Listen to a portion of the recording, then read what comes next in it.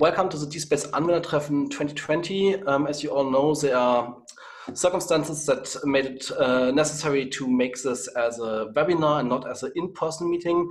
We are trying to um, organize an in-person meeting on 1st and 2nd of October in Berlin. Currently, we cannot say if that will be possible, but that's what we are going to try, and we have to see how the situ situation develops. Um, we're coming to our first talk in English today. Will be given by Tom Lynam. I hope I pronounced your name right um, from Arkivum. It's an important topic um, that is always asked by, by, by, persons who are looking for the first time on repositories. It's about long-time archiving. And Tom will present how um, they, uh, how Arkivum is, is interacting with DSpace in terms of long-time archiving. Tom, please go ahead. Great, thank you very much, Pascal, and uh, thank you for having me uh, in today to talk. Um, so over the next 15 minutes or so, I'll be looking to cover a general overview of uh, what digital preservation is um, and what digital safeguarding is, why it's important um, and why we need to care about it. I'll then quickly run through Arkivum's Perpetua solution and uh, spend most of the time on how that integrates with something like um, DSpace. Um, I'll quickly cover a little bit about how one of our users is, is using both solutions. Um, and then, as Pascal mentioned as well, I'll finish up uh, with some questions as well. Um, before, though, I do um, get into the meeting session, I thought it worth spending uh, a couple of moments just to introduce myself and, and Arkivum. Um, so as you can see, that's, that's me on the screen. Um, my name is Tom Lynam. Uh, I am the marketing manager at Arkivum and I've been in the role since the beginning of the year. Um, my background is in both product management and marketing. Um, I've had over 10 years experience working in a range of different industries um, from technology providers to IP, uh, management consultants, um, and also a little bit in professional education. Um, and last year, I actually lived and worked in Australia before returning to the UK, from where I'm now um, speaking to you today. Um, I must apologise as well for not being able to give this presentation in German, but I assure you, you will understand much more of it with me speaking English than me attempting to speak in German. Um, that said, if I am speaking too quickly, um, then please do um, let uh, Pascal know, and I will endeavour to slow down a little. In terms of who Arkivum are, um, we're a hosted solution uh, for long-term data management, archiving and digital preservation. We were founded in 2011 um, and focused on very much the storage of research data. We actually originally came out of the uh, University of Southampton um, and we've evolved since then to around 20 staff um, based across the UK and the US you'll see that we have um, quite a range of different customers and that initial use case of storing research data has expanded um, over those years um, into things like pharma and life sciences, heritage organizations and, and libraries as well. Um, and you'll also notice um, EBSCO's uh, logo in the bottom left of the screen, who are one of our um, main partners and um, are um, partly responsible for, for putting us forward to speak today. Um, so a thank you to them as well. Okay, so thank you for your patience as I went through those very quick introductions um, and hopefully providing a little bit of context to who I am and who Arkivum are. Um, but let's now jump into the main, main topic of uh, today. Um, so before I talk in any detail about safeguarding or digital preservation, I want to talk a little bit about the concept of long-term data management and how it differs to a simple backup. Um, sometimes it's easier to describe something by stating what it's not, and none of the solutions on the screen really come under the banner of effective long-term data management. They can all back up data, um, but long-term data management is something slightly different. Um, physical storage is often easily corrupted over time um, or not secure enough. Um, and if we think on a personal level, um, how many of us have backed up um, old files or pictures onto one of these devices and either ended up losing them or um, that they are they in some way become corrupted. I think myself, I have about three or four different storage accounts from uh, major providers online, um, each with their own libraries and collections of pictures, um, all sort of linked to various devices I had at, at this um, at various times. And this really doesn't just apply to the individual. Um, there's also numerous uh, examples of organizations falling foul to this as well. Um, I actually recently uh, wrote a blog which was published this week um, highlighting three cases, um, quite public cases of organizations who lost data um, because they thought um, they had a very robust long-term data management strategy or, or a backup of some sort.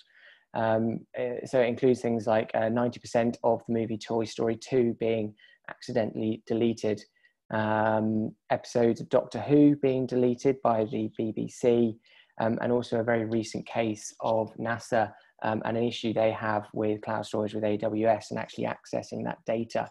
Um, I won't go into detail um, with any of those, but if you, you are interested, I can share the link to that, that blog um, afterwards. I do quite like the um, quote on the screen from Stanford University's website, um, and I think it really hits the nail on the head when it comes to long-term management of data. Um, many assume that it's simply backing up your data to a device or a cloud, as, as we've said, and this isn't the case. Um, you know, as we've discussed, files can get corrupted over time. Um, there's actually a recently published report from Forrester about digital fragility, which gives some good examples in there um, in terms of corruption of data on physical physical files. Um, were, uh, they've lost. Uh, they give the example of lost photos from digital photos from 9/11 Ground Zero. So obviously very valuable data lost because it wasn't properly managed. Um, and also formats change over time. So that same report highlights a couple of examples. Uh, one, a UK cultural institution which lost data that it couldn't migrate from old versions of PowerPoint, um, and a large bank which lost 20 years worth of mortgage documents for its customers. So obviously really important documents for, for both those organizations. And I'm not trying to scare anyone here, but I think if there's one thing that you do take from the session today, it'd be not to take long-term um, management of your data for granted and understand that it, it is more to it than just having a backup. So now if I shift um, and uh, talk in a little bit more detail around um, firstly digital safeguarding and then a little bit about digital preservation. I think it's easy to jump straight to security when we talk of safeguarding, but there's actually a lot more to it. Um, I'll talk through a couple of examples of how um, or conversations we have with customers here, but this really does apply to, to everyone. Um, so firstly, um, it's really important to avoid siloed data. Having data located in multiple locations can make it very challenging to access and use um, data effectively. And it's actually one of the first conversations we have with most of our customers about understanding where all their data sources are and bringing them together. The second is making sure that they're securely stored, having that peace of mind that they're safe, um, immutable, secure, and available um, when needed. Um, we've already covered um, making sure there's no data leakage or degradation, um, and making sure that that data is being constantly checked that it's um, it's still valid and, and, available. I think as well another thing that a, lot of our, our, customers and potential customers talk about very early on is the accessibility and the ability to migrate that data. Um, and it's something that we're very keen to ensure that our customers understand that it's their data, not it doesn't suddenly become our data. So it's that ability to access and have control over your own data. Um, then we need to consider um, secure data access. So making sure that the right users have access to the, to the right data that they should and can manage the right data. And then finally, um, making sure that you have 100% confidence when it comes to meeting regulatory compliance requirements. Although this is more applicable to some than others, I think with recent changes um, in laws, I say recent, but things like GDPR coming in, anyone who's sort of responsible for managing data needs to be aware of, of these requirements and also making sure that um, that they're keeping up with those latest requirements as well. If we move now to, sorry, I'm just flashing up. Okay, sorry. Um, so if we move now to digital preservation um, and the second major part um, that I wanted to talk about today, um, in preparing for this presentation, um, I wanted to try and find out how many different uh, file formats exist in the world at the moment. Um, it was actually a very difficult task. If anyone does know a more accurate number than this, then please do let me know in the chat. but when all else failed, I, I went to Wikipedia, so I do apologize. Um, but on their main site, in terms of file formats, there's over 1600 listed. And I think over the coming years, this will only continue to grow um, and will, it will be a, an issue and a challenge for organizations which isn't going anywhere. When storing data for many years, digital preservation is crucial to ensuring the long-term accessibility. And I think as we begin to see more and more born digital content, um, it's only going to be something which increases as, um, as we go further into the future. Now, one of the most mis uh, common misconceptions um, that we come across is that a, a, backup is good enough for digital preservation. And I've kind of already touched on this um, earlier in the session, um, and that having a backup is effectively digitally preserving your data. Um, and whilst in many cases this is the cheaper option, um, it will cost organizations in the long run. Um, and I think that becomes clear when we look at sort of the detail of what actually digital pres preservation is. And there's three main ingredients um, to this, which is accessibility, usability, and searchability. And all are crucial to ensuring that your data can be accessed for the long term. So if I first look at usability of data, um, you need to ensure that those files are um, still available as formats evolve. Um, and if we think back to those two examples I gave earlier around the mortgage data and um, the uh, data on uh, PowerPoint, you know, that, that's something that all of us use almost on a daily basis. The second is searchability of the data.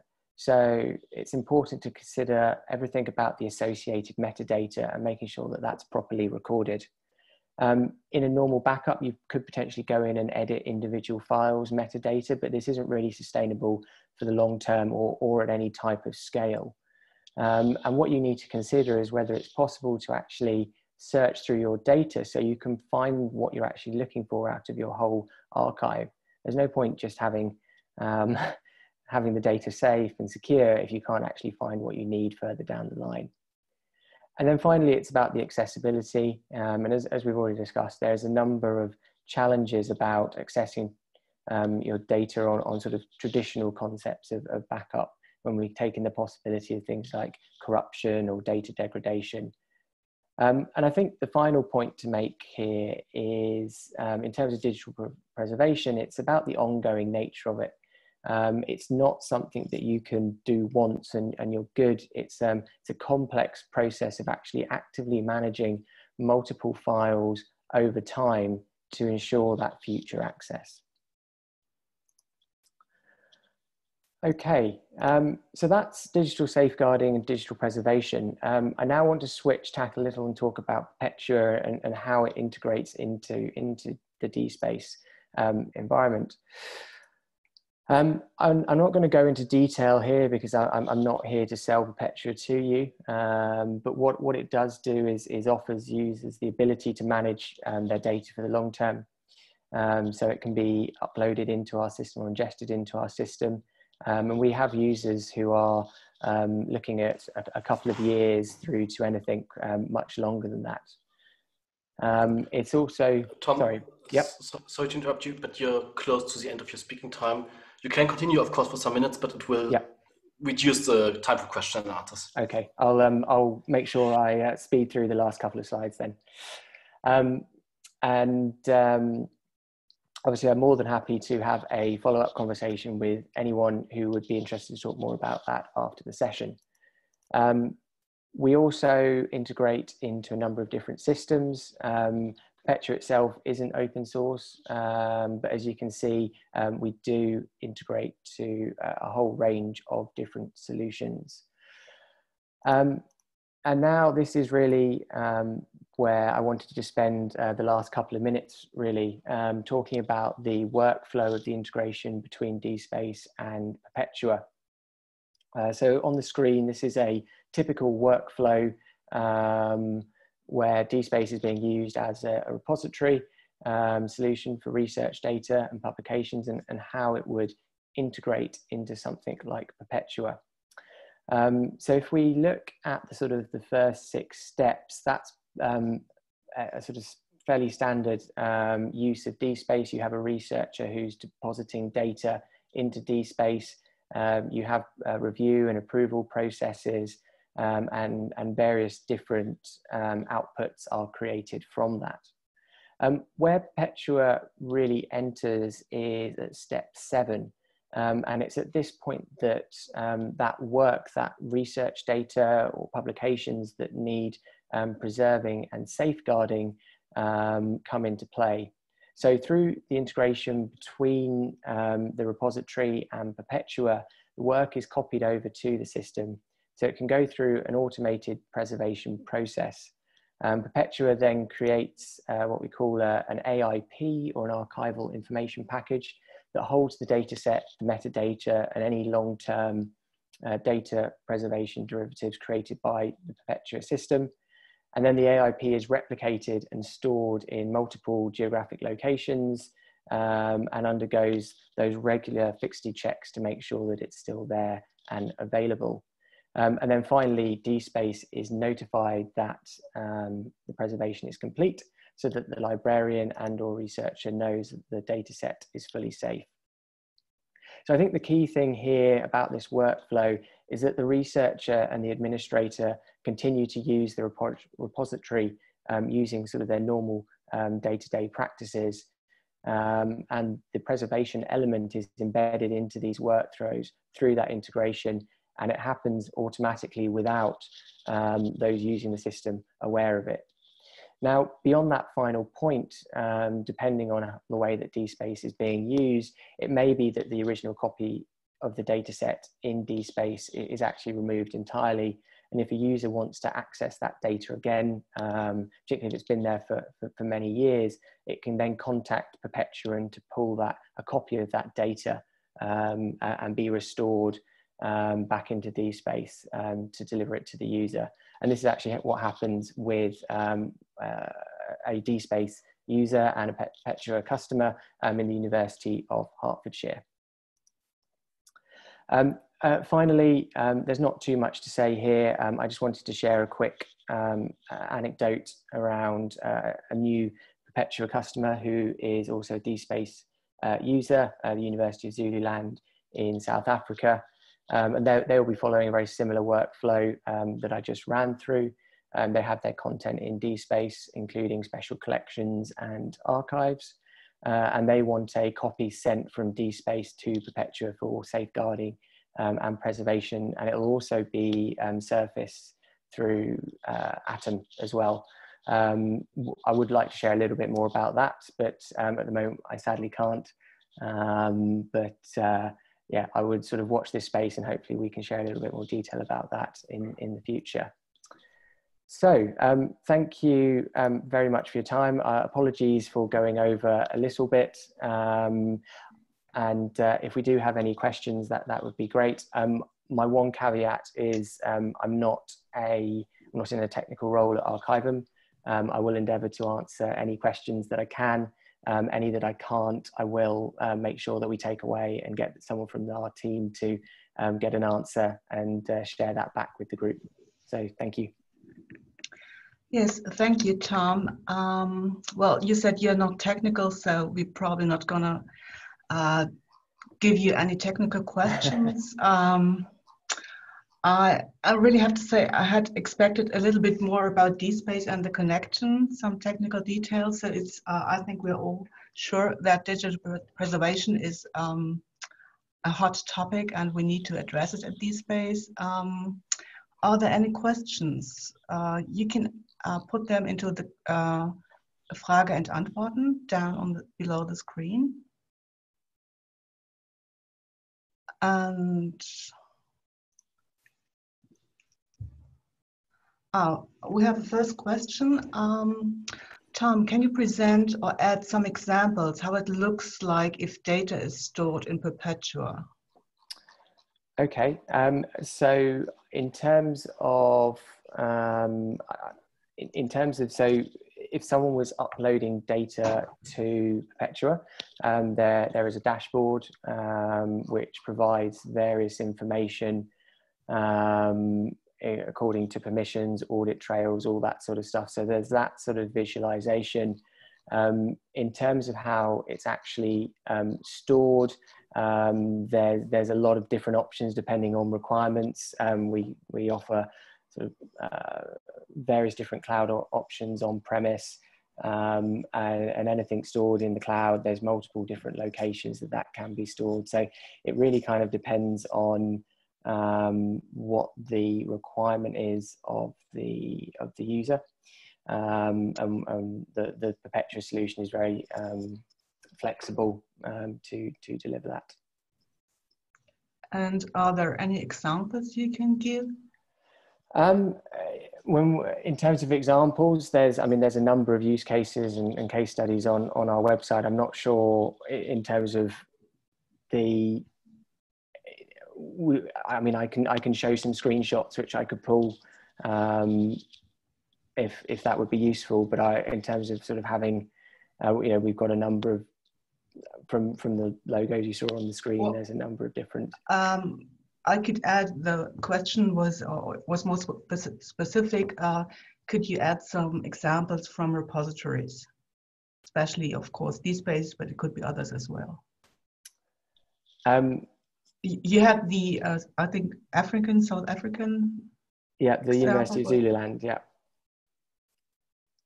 I mean, I, sorry, I'm, I'm maybe I'm misunderstanding the question. I mean, in, ter in terms of the how that would look in terms of the workflow, um, that was the previous slide. Um, you know, that that's that's you know how it how it looks. The the Perpetua system integrates into DSpace, so it would depend very much on what um, the, the setup, the customer setup and requirement for that storage would look like. Okay, then I'd like to proceed to, to the next question. It's, is the process carried out by humans or machines, algorithms? Um, so it's, it's all done um, automatically. Um, so the, the, the sort of user interaction would be um, the data manager um, or whoever's fulfilling that role within an organization sort of uploading or ingesting data into the system. Um, and then uh, and there would be fair sort of a number of different settings and options that they would have when they upload that. But in terms of the storage the digital preservation and all of that that's all conducted automatically um, by as I said by our um, algorithms oh, sorry, in terms of the preservation process, yeah, so the, the preservation process um, is automatic. Um, in, in sort of simple terms, uh, when files are uploaded, um, they will be reformatted to a, a smaller number of formats, um, and that this is all conducted automatically. Um, and then those formats are updated on an ongoing basis. So um, when a format evolves that is stored within Perpetua, it will automatically um, update to that latest version, that format, and that's all done automatically. All right, thank you. That answers the question about the preservation process. And we have one more question. This is um, whether the Perpetua, the flow from Perpetua to DSpace is only via import from the AIP stored in Perpetua, or is there a perpetual format uh, or, or an alerting mechanism? Um, so that one I would have to take away. I can check that with the team right. um, to see what, what was possible there. But um, yeah, I can I can check that. Yeah, thank you so much for your presentation. No problem. My pleasure. Thank you for having me. Yeah. So um, we'll have a break for about five minutes and we're going to stop the recording.